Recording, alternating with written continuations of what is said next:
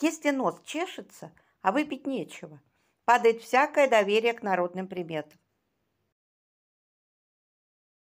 На 1 января мы запланировали катание на санках. Если снег не выпадет, это нас, конечно, огорчит, но не остановит. 1 января с утра в магазине было пустынно. Потом потянулись дети с записками. Судя по походке россиян утром 1 января, убеждается, что земля крутится, и даже слишком.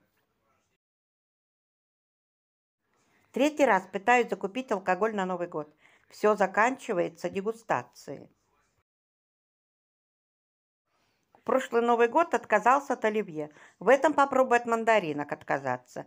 Надо же выяснить, о чем мне так плохо было 1 января.